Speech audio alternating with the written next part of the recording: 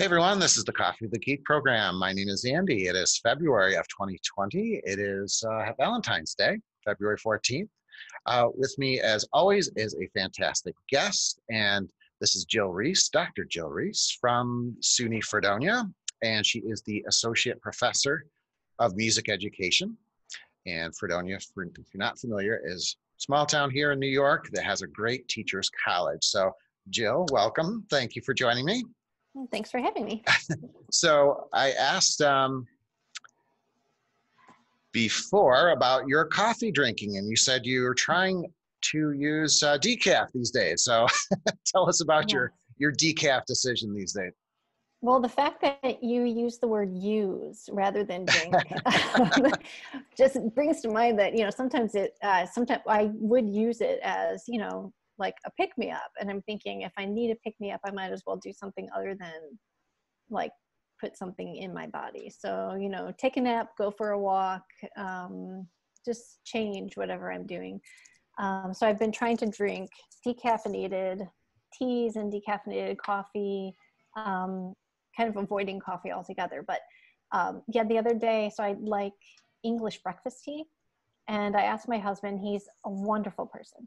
I asked him to um, get, you know, here's the grocery list, and I wrote down like it's in the red box, and it here's the name of it, and because he's I like certain things, so um, he knows that you know just don't get it wrong. So he came back home, and I didn't say anything about it, but he had picked me up decaf um, English breakfast tea, and I thought maybe that's a sign to be uh, from the universe that I should just go uncaffeinated. So that's what I've been trying to do since then. And you're finding it's working? I'm finding that uh, taking a nap is actually easier now. I used to just think, think, think, think, think, but taking a nap is easier. good, good advice. Yeah. And it's cheaper too to not buy coffee all the time, so that's good. I bet. So, uh, tell me about your your background in education. You've got a pretty diverse background and a lot of experiences. So let's start there. Um, well, I grew up in Michigan and um, started off in performance, music performance at Michigan State University. Um, in percussion. So I'm that's my main instrument. I liked playing all these different instruments, and I'd played piano since I was five. So moving to percussion and like xylophone, marimba, that was a pretty easy transition. So um, so I started in percussion performance, and I really was depressed at the end of my first my freshman year. I loved performing, but the space in between performances was kind of a low, and I developed some performance anxiety where um, I would literally lose parts of my vision um, during when I was performing. So I started thinking there's got to be something better than this or different than this, and um, picked up my sister, who's 10 years younger than me, at um, her elementary school because at that time I was 18 years old and she was eight years old. So I picked her up from school and I picked her up early. So the principal said, Why don't you go and observe her in her music class? So I said, Sure. So I went and observed, and I had never had, so I went to a Catholic school in elementary school. So I'd never had elementary general music, you know, the music class where you go in once a week and do a variety of things. So when I went to pick up my sister, there were all these percussion instruments, these tiny xylophones everywhere, and the children were moving so beautifully and singing so beautifully. Um, their teacher, Sue Mueller, I thought, my God, does this, is this, is this something? Um, and from that moment on, I was smitten. I thought, this is what I have to do with my life. So um, I switched from music performance to music education, and that was the beginning, the beginning of the end, the end of the beginning, the beginning of everything for me, really. So, um, and luckily at Michigan State, Cindy Taggart was one of the music education professors there, and her focus was general music, and she's just a gift. She was wonderful. And I had the chance to teach infants and toddlers and um, really get my feet wet before student teaching. So I finished my student teaching and got a job up in mid Michigan teaching elementary general music, which is what I wanted to do. And a um, couple years into that so teachers have to get their master's degree to sustain their certification or to get a professional level certification. And so i went to university of michigan and realized that i kind of enjoyed doing research as well. So I finished up my degree as I was teaching, and um, around 2006 or so, I thought, I think maybe I want to get my PhD where I can teach teachers. I'd had some experience um, teaching teachers during summer courses. And I thought I really like teaching teachers, and then I can make an impact on not just the 600 students in my school, but 600 times how many pre-service teachers do I get to work with, right? So it's kind of exponential at that point. So I went to Temple University to get my, I finished my um, master's in music education at University of Michigan and got my PhD at Temple University. And again, did some more research on um, music acquisition and language acquisition and sort of parallels between those. And um, then I was offered the job at, Tem- at um, Fredonia, and that's where I've been ever since. It's an amazing place to work. The people I work with are fantastic. The students are just so hardworking and um, they uh, and very musical. So I enjoy working there. I get the chance to teach um, early childhood music, so music for children birth to about five years old within the community as part of um, some university school partnerships that we do. Um, it's just everything that I could ever want and more is what I've kind of found and created here. So I'm lucky. Um, I also have music learning theory training. Do you know what Suzuki training is, Andrew? Um, vaguely, but so maybe give okay. me a little more detail. So Suzuki is just like an approach to teaching, say, violin or other instruments that um, Shinichi Suzuki developed. It's like a pedagogical approach.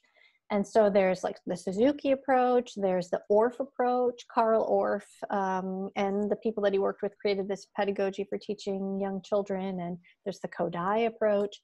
And there's another approach called music learning theory that was created by Edwin Gordon. And his uh, the theory of this is that music is learned in a similar pathway and a similar approach to how we learn language where we develop a large listening vocabulary before we develop a speaking kind of imitative vocabulary and then we start creating our own combinations of that vocabulary to um, communicate with others our own original ideas and then and we read and write. And so it's um, it's an approach to teaching music that is um, loosely structured around how we learn language. So i have training in that and um, so that's part of what kind of informs my background. So let me maybe bring in one of the questions I was planned on asking later, but I think now is a really good time to maybe dig into it. Is how does technology um, come into play with music? I, I think you know you can you can play all kinds of instruments now just using an iPhone and then send them to GarageBand or iMovie. And um, how, maybe talk about how ed tech blends into music education or or does it? Just from your i guess mm-hmm. your perspective. Um, i would say that technology the, all of the different ways of consuming and creating and producing and sharing music um, creates a really diplomatic a more diplomatic um, context for music learning and music teaching and um, and being musical so I think the technology really has helped to open doors for people um, where you're not, I, you know, we used to, um, so there's like a funnel approach when it comes to music education. It's like everybody has music education when they're little. It's compulsory, right? So children K through fifth grade or depends on each district, they have to go to music once a week and you kind of get this um, we call it general music because you get a singing, instruments, reading, creating, you get all of that. And then as the years go through, fewer and fewer students choose to participate in music traditionally because we've got this sort of band, orchestra, choir, three ensemble choice that a lot of students have to make. But nowadays, there are so many other doorways in. Um, usually, what happened is elementary school you choose what instrument you want to play and then there's no other beginning point after that to enter into music education. If you miss the doorway when you're in elementary school and you want to start playing in band in high school well i'm sorry we don't have a beginning beginning band in high school. These other students have played for so many years right? So the opportunity is sort of lost. The window is closed for people. But with technology you're right there's a lot of other ways that you can create and perform music without having experience on traditional instruments so it not only opens up doorways for creating, it opens up doorways for genres too. A lot of the reasons that the students don't participate in band orchestra choir in middle school and high school is because that music doesn't necessarily speak to them. But when you bring in technology like GarageBand and all, they can create in whatever genre they like, hip hop, whatever it is, they can create in a genre that speaks to them. So the great music teachers, um, especially the ones in middle school and high school, create opportunities to for students to explore and create music that is culturally relevant for them, whether it's their own culture or it's teen culture or pop culture or whatever it is.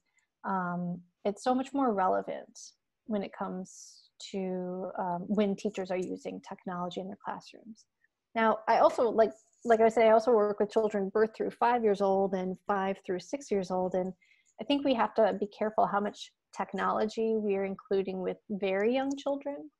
Um, I include so much more acoustic music making um, with the very young children, but for the older students, you know, middle schoolers, I don't know if you've ever tried to get a middle school boy who hasn't been in choir to sing before, but um, it's rarely going to happen. And uh, not without a lot of discomfort on your part and the student's part, right? So they need a way to express themselves, which is that is comfortable and um, that speaks to them. And so I think a lot of this technology really does help them be expressive musically where they might not have had that opportunity in traditional context.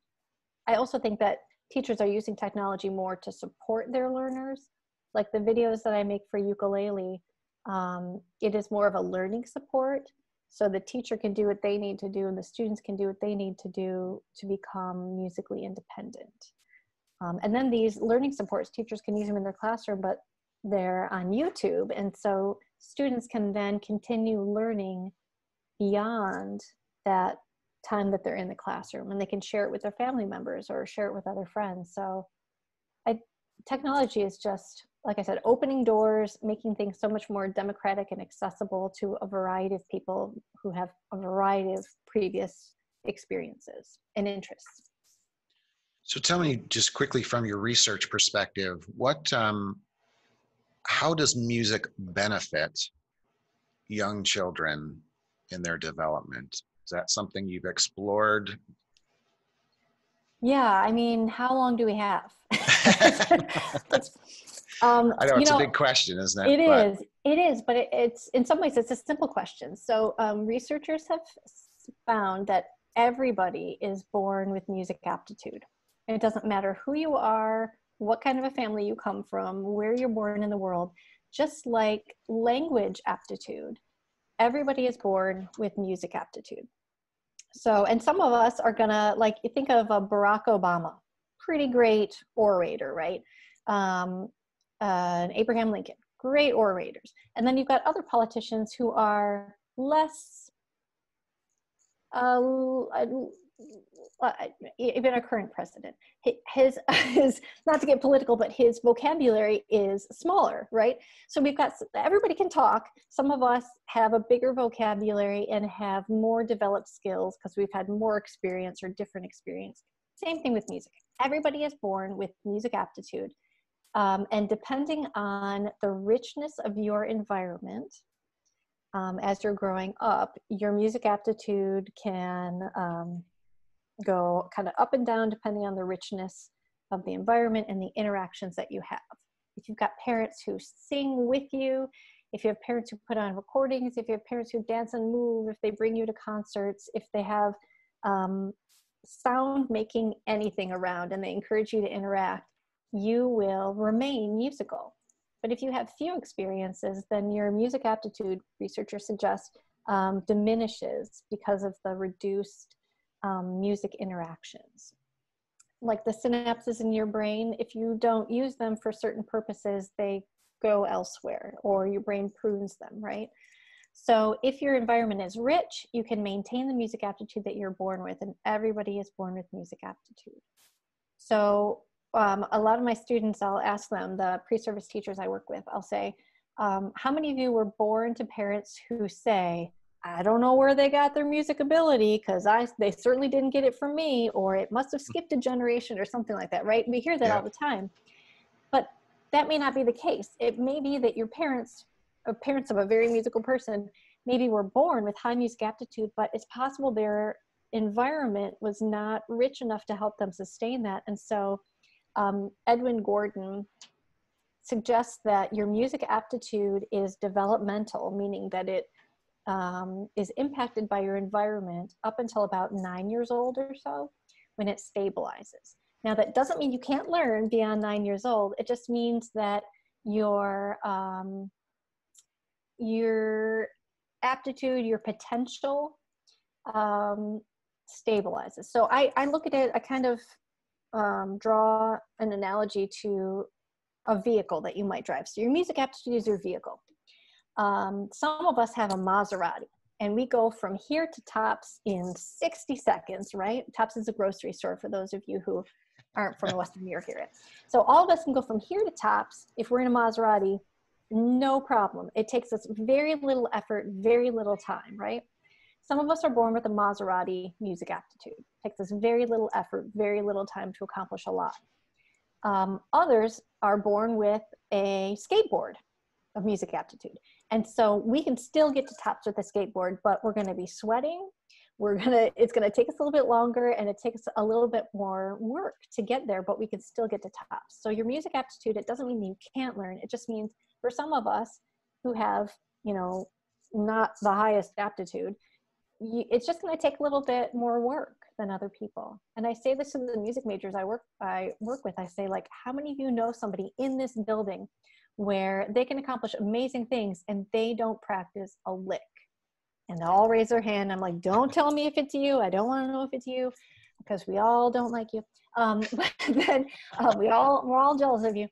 But and then how many of you know someone who works their tail off to accomplish the same thing? It doesn't mean you can't accomplish great things. It just means that some of us are going to work harder than others. So everybody has music aptitude, and it's up to the adults in the environment to make sure we've got rich interactions. And rich interactions means face to face music making.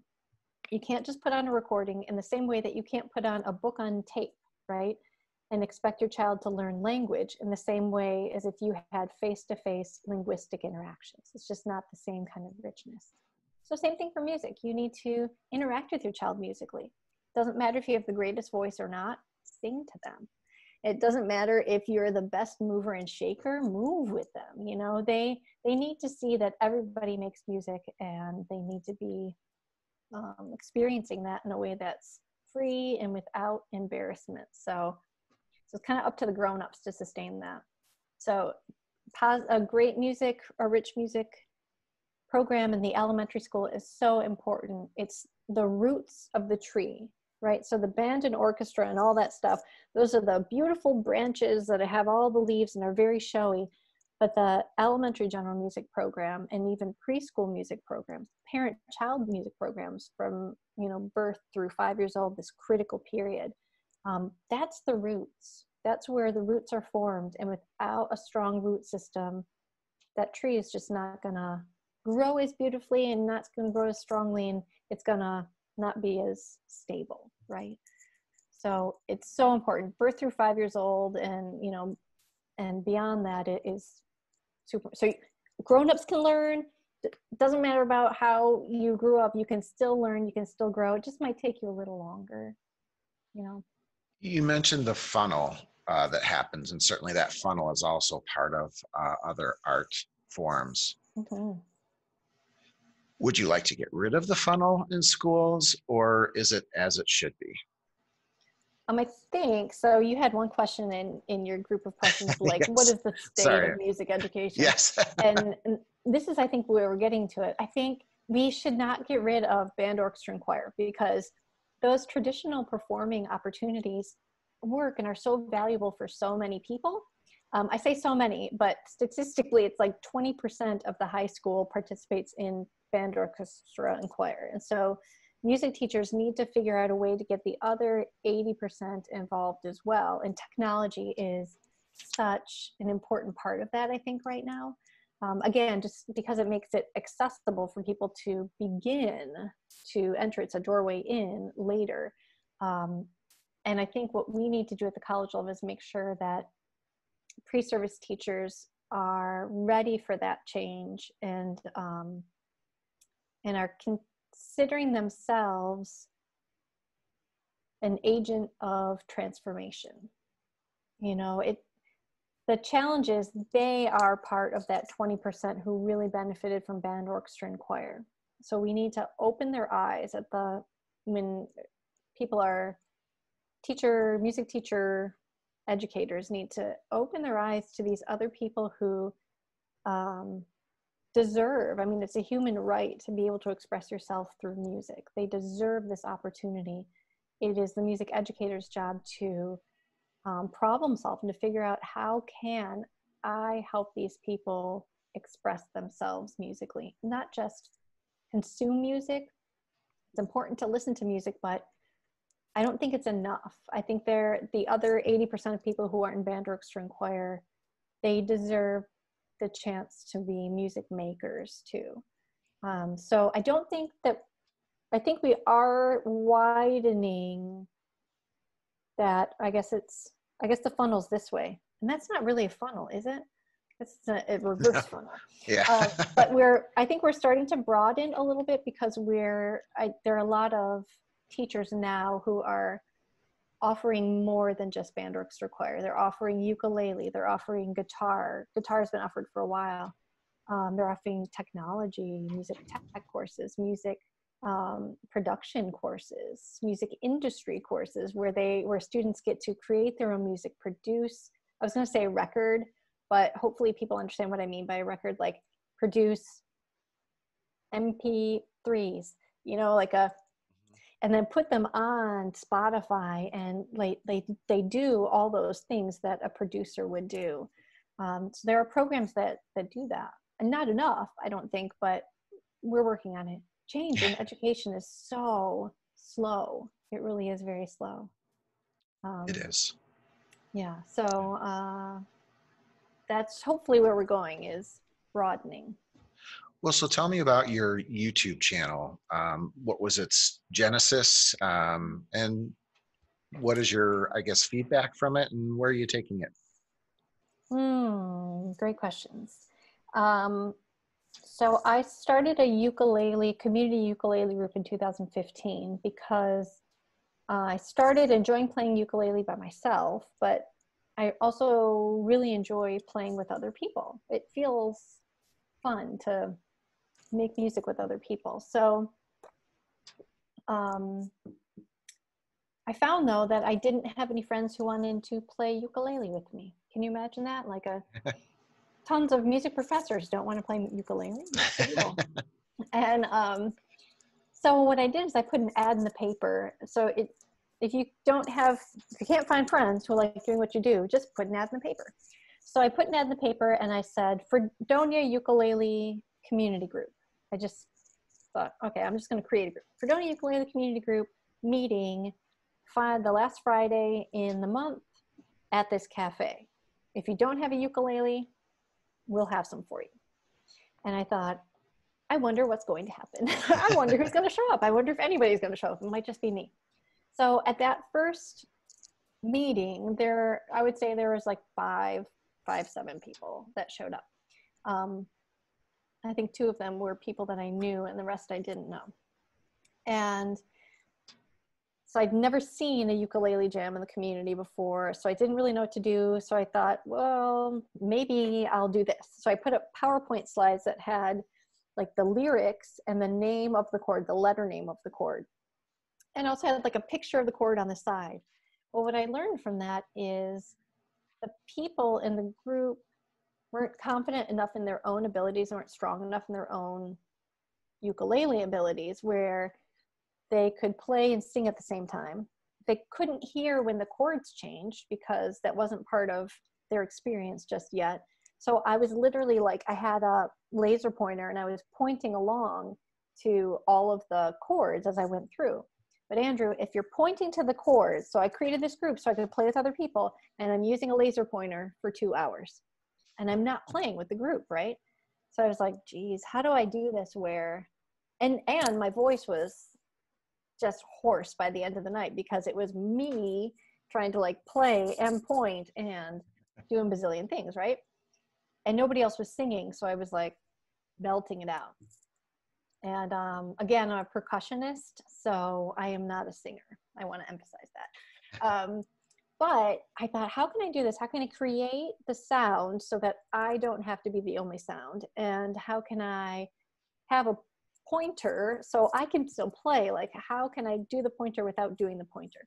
So I went into iMovie and I created um, one of my first play along videos, which I think was maybe yeah, it was uh, uh, um, Taylor Swift's Jill. Shake it up. Shake All it right. up. Yeah, shake it up.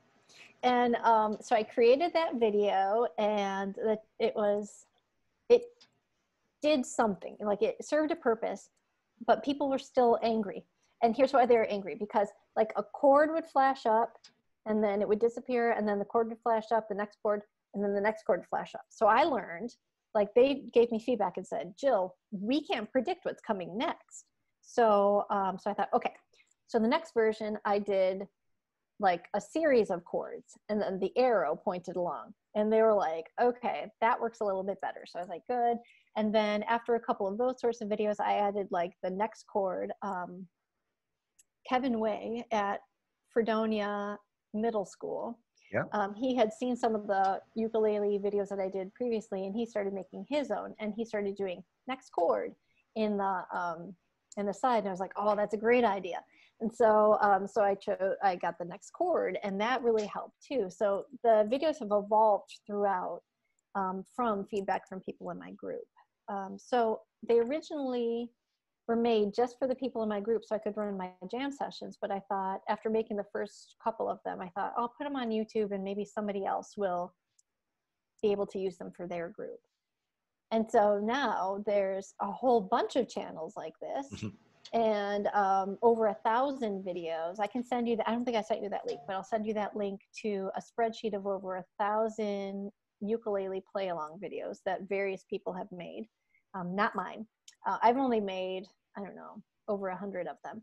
But um, yeah, it's really fascinating and all different sorts of genres now. And um, and my channel has like over 49,000 subscribers and 14 million views, which is kind of It's incredible. Yeah. Yeah, it's crazy. I went to a conference just the other day um, in Georgia, and I was passing out recorders for this other session that um, someone I know was doing. And someone looked at my name tag and she was like, oh, You're Jill Reese. You're famous. she was like, You're famous. And I thought, That feels very weird right now. Oh, But that's awesome. also, like, the videos don't, no one would know me if they saw me on the street because the videos don't have my image and the site doesn't have my image anywhere. So, um, so it, it's it's weird for people to know my name. Like um, people on Facebook will message me and say, "Oh my gosh, my students always keep asking, where's Dr. Jill Reese? Can we play some of Dr. Jill Reese's videos?" And um, so it's kind of funny. And um, students will post messages. I typically don't respond to people's um, messages on my videos because there's just so many of them. Um, especially, so I I definitely don't respond to the ones that say like strum pattern because I'm like, oh my gosh, I give you all of the chords. I give you the music for it, and you want the strum pattern too? Jeez. Um, like, inhale, exhale. Do you need me to write that on the video too? So, so usually I just don't respond to those. A lot of times the users, other users will suggest strum patterns. And so I think that's kind of a great way for like the video creates this platform and then the users will interface with each other.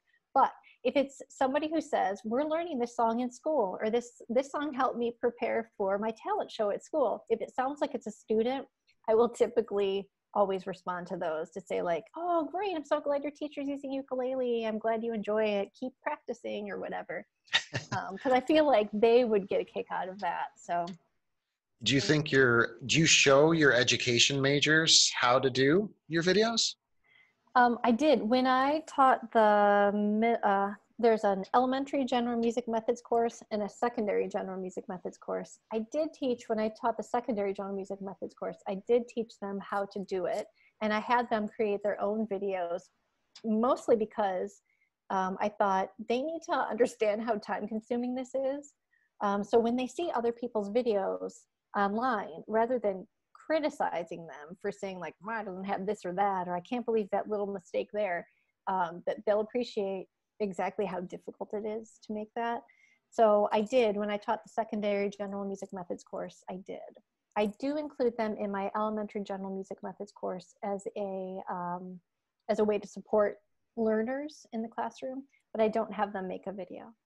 But online on my YouTube channel, I have a video of how to make videos. Does that make sense? it does. And then Perfect. on my yeah on my um, I have a website that I sent you a link to. Um, that's ukulele. I think in the general music classroom or in the music classroom.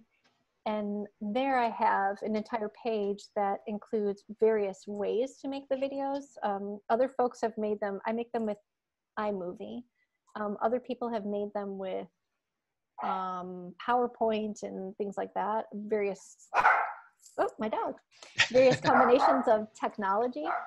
And so what I do on that page of the website, how to make videos, is just include different strategies because people have different technology. Mac based and Windows based and all that. All right. Well, believe it or not, our time is is come to a close. I do want to oh, so keep track of that, but you, I can't leave you without doing the Speed Geek question. So hold on one second. I'm going to try and share my screen with you. Okay. I hope I get number four. number four. Number four. Um, there's a couple that I'm thinking, oh my gosh, people are going to think I'm a fraud. Some of the answers, but all right, can you, oh, it's, we'll just, we'll just spin the dial anyways. It looks like I'll it's not you. letting me um, share my screen here. So let me, uh, for some reason. All right, so we're just gonna go and I'll ask you the questions. Here we go. So you get three of them and they can All be right. quick. So uh, what tech trend do you think we should look, be looking out for? What's a tech trend to watch out for? That that's a could be from- great and this is not going to be a great answer, but um, speaking from an educational viewpoint, I think teachers need to know that technology is always going to be changing. So just to be open. So I, I, I think we're going to be becoming more and more and more tech um, influenced in education. So teachers just need to be open to learning from their students. I think that, which is not maybe what you're expecting from this answer, but in education, it's always going to be changing. So just be open to learning from them. Great. Okay. Oh, next one. Teachers don't need to be the expert. Students can Okay. be the expert too. What is your favorite social network? Well, I have to say that the only social network I'm on is Facebook. So um, I guess that's my favorite by default. um, my mom will tweet about things that I do, but I never see it because I'm not on Twitter and I have not figured out anything else yet. So, like I said, I'm a total fraud. Yes, I was trying to uh, tag you and found you, you weren't on Twitter. So I'm not. that's that's maybe that's your New Year's goal. resolution. Huh? All right, we'll go one more here. Okay. And okay, besides your students, because I think as teachers we're always inspired by our students, but who or what inspires you? um, technology wise, It can be anything. Okay, good. Um, I just love people. I love interacting with people, and I guess what I I'm constantly trying to um, just make eye contact with people and smile at them. I know that probably sounds very weird, but um, I find that doing that creates a connection, and people are always sharing things with me. So um, so that's always good. Um, yeah and and i i'm inspired by things that i read too i don't know and people are always, like I said, people are always sharing books with me and quotes with me, and it's eye contact. I think it's eye contact. So I'm inspired by human connection. Great. Hu- Human to human connection. Technology is great, but human to human, there's no replacement for. Agree. All right. Well, Jill, thank you so much for Thanks taking having your me. time, and uh, we'll see you around town. Okay, sounds good.